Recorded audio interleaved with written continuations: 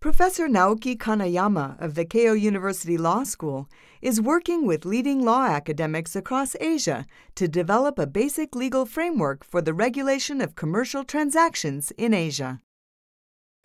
Our project, called PACL, is a challenge to establish a model law applicable to all Asian countries. The uh, PACL means the principles of Asian contract law. There are already many model laws in European countries, but there's nothing parallel in the uh, Asian countries. And that's why we have started three years ago this project with many Asian friends.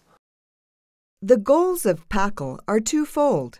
The first is to serve as a model law for lawmakers and governments across Asia.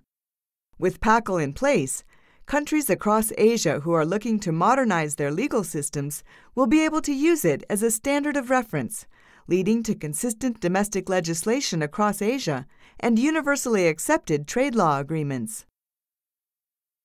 The second goal is to insert PACL into trade contracts so it can serve as the basis for conflict resolution. If the PACL articles are inserted in a contractual document, it can serve as a, as a rule applicable to that case. For example, if a law applicable to the case is one of the Asian countries whose law is not so certain and not so clear, uh, in such case, there will be a danger for their economic transactions in case of conflict. But if one can insert their PACL articles in a contractual document. The PACL will be the base of the conflict resolution. So since the PACL is the very simple rule, so one can foresee and uh, anticipate the uh, risk involved in such uh, transactions. So uh, I hope the, these two utilities, so the model law and as a contract law, and these two utilities will be fulfilled by the realization of PACL. Due to disparities in the political systems between the countries involved, it would be difficult for a treaty to be developed via political or diplomatic channels. Therefore, Professor Kanayama, in cooperation with leading scholars from China, South Korea, Taiwan, and ASEAN countries, have begun to develop this private initiative to harmonize the rules of contract law in Asia. Until today, we have been working on the contracts in general, the general principles of the contract.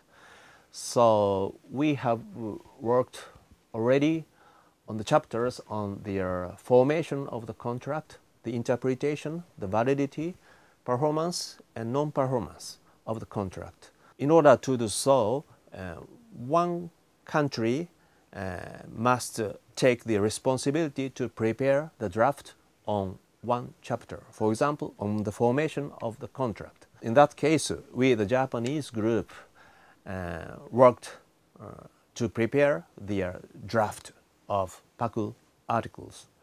And then we sent the uh, draft with comments to the all uh, participants. And uh, after that, we had a PACL forum in which all members were allowed to raise any questions and any modification proposals. Such uh, forums we have we had already eight times either in Beijing or in Seoul or in Ho Chi Minh City or in Tokyo.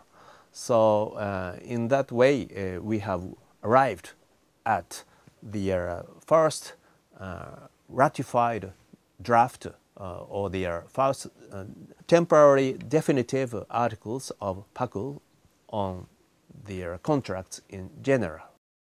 From now on, Professor Kanayama would like to invite participation and input from members of ASEAN countries such as the Philippines and Malaysia, who are not yet active in the development process.